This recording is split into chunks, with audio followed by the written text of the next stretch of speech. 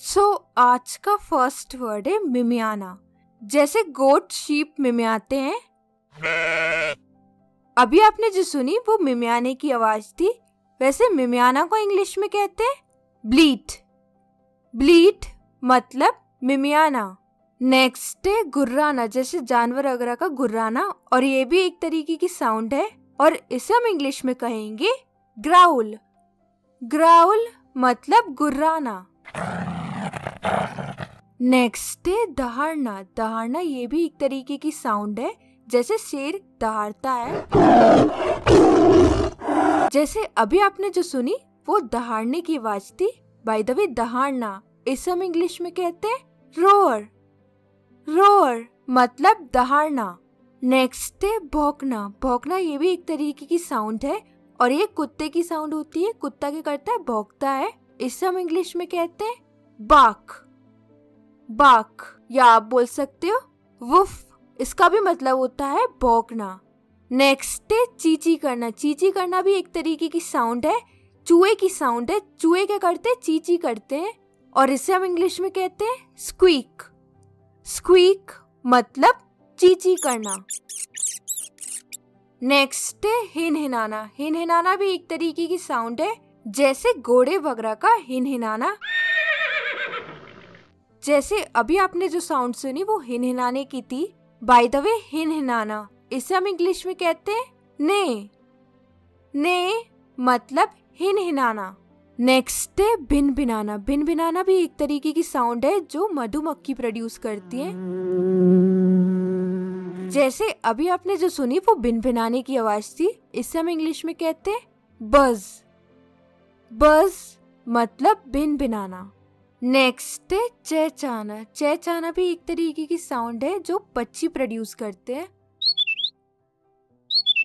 जैसे अभी आपने जो साउंड सुनी वो चहचाने की थी। बाय द वे चहचाना इसे हम इंग्लिश में कहते हैं ट्विटर ट्विटर या आप यूज़ कर सकते हो चप दोनों का ही मतलब होता है चहचाना नेक्स्ट है चिंगारना चिंगाड़ना ये भी एक तरीके की साउंड है जो हाथी प्रोड्यूस करता है। और अभी आपने जो साउंड सुनी वो चिंगाड़ने की थी।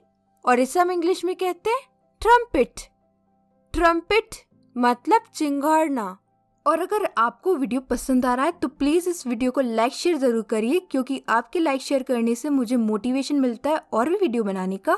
सो so, प्लीज़ इस वीडियो को लाइक शेयर कीजिए और चैनल को सब्सक्राइब कर लीजिए। नेक्स्ट है मियाऊ मियाऊ करना। ये भी एक तरीके की साउंड है जो बिल्ली प्रोड्यूस करती है।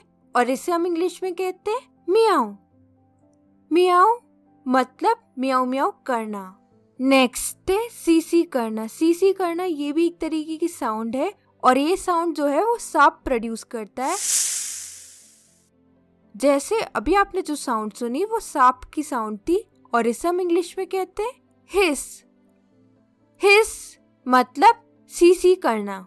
नेक्स्ट है टर्टर करना। टर्टर करना ये भी एक तरीके की साउंड है जो मेडक प्रोड्यूस करता है। जैसे अभी आपने जो साउंड सुनी वो मेडक की थी, और इसे हम इंग्लिश में कहते हैं क्रोक क्रोक मतलब टर्टर करना। नेक्स्ट है कुटकुटाना या किड़किड़ करना, ये भी एक तरीके की साउंड है जो मुर्गा या मुर्गी प्रोड्यूस करते हैं। अभी आपने जो सुनी वो कुटकुटाना की आवाज़ थी। और इसे हम इंग्लिश में कहते हैं क्लक क्लक मतलब कुटकुटाना या किड़किड़ करना। नेक्स्ट है कूकना या गुटरगू करना। ये भी एक तरीके की हमारी साउंड है जो कि कबूतर प्रोड्यूस करते हैं। जैसे अभी आपने जो साउंड सुनी वो कूकना की थी और इसे हम इंग्लिश में कहते हैं कू। कू मतलब कूकना या गुटरगू करना। नेक्स्ट है काव काव करना। ये भी एक तरीके की हमारी साउंड होती है जो कौए प्रोड्यूस करते हैं। जैसे अभी आपने जो साउंड सुनी, वो काव काव की थी, और इसे हम इंग्लिश में कहते हैं को को मतलब काव काव करना। नेक्स्ट है ढेचू ढेचू करना या गधे का रेखना ये भी एक तरीके की साउंड है जो गधा प्रोड्यूस करता है। जैसे अभी आपने जो सुनी, वो गधे की आवाज़ थी और इसे हम इंग्लिश में कहते हैं ब्रे। ब्रे मतलब डेचू डेचू करना या रेखना आप इसके लिए एक और वर्ड यूज़ कर सकते हो ही हॉ इसका भी मतलब होता है डेचू डेचू करना या रेखना नेक्स्ट है रामबना। रामबना भी एक तरीके की साउंड है जो काव प्रोड्यूस करती है। जैसे अभी आपने जो साउंड सुनी, वो काव प्रोड्यूस करती है और इसे हम इंग्लिश में कहते हैं मुँह मुँह मतलब रामबना नेक्स्ट है उल्लू की आवाज़। जैसे अभी आपने जो सुनी, वो उल्लू की आवाज़ है, और इसे हम इंग्लिश में कहते हैं, हुट। हुट मतलब उल्लू की आवाज़। नेक्स्ट डे बतख की आवाज़। बतख की आवाज़ कुछ इस तरीके से होती है। वो क्वैक क्वैक करती है, और इसे हम इंग्लिश में कहते हैं क्वैक क्वैक नेक्स्ट है फुफकारना। फुफकारना का मतलब होता है पशुओं का नाक और मुँह से हवा निकालते हुए आवाज़ और इसे हम इंग्लिश में कहते हैं स्नॉट स्नॉट मतलब फुफकारना। नेक्स्ट है हुकना हुकना भी एक तरीके की साउंड है जो कि कुत्ते प्रोड्यूस करते हैं और भेड़िए प्रोड्यूस करते हैं। जैसे अभी आपने जो साउंड सुनी वो हुकना की थी और इसे हम इंग्लिश में कहते हैं हाउल।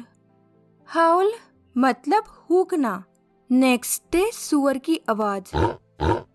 जैसे अभी आपने जो साउंड सुनी वो सुअर की आवाज़ थी, और इस साउंड को हम इंग्लिश में कहते हैं ओइंक ओइंक मतलब सुअर की आवाज़। नेक्स्ट है डकारना। डकारना भी एक तरीके की साउंड है, जैसे सांड डकारता है। कुछ इस तरीके से, और इसे हम इंग्लिश में कहते हैं बेलू। बेलू मतलब डकारना। नेक्स्ट है बंदर की आवाज़। बंदर की आवाज़ को इंग्लिश में कहते हैं जिबा जिबा मतलब बंदर की आवाज़। नेक्स्ट है फड़फड़ाना। फड़फड़ाना में से भी साउंड प्रोड्यूस होती है। जब पक्षी अपने पंख फड़फड़ाते हैं तो साउंड प्रोड्यूस होती है। वैसे फड़फड़ानों को इंग्लिश में कहते हैं फ्लैप फ्लैप मतलब फड़फड़ाना। नेक्स्ट है घोड़े की खुर से निकलने वाली आवाज़।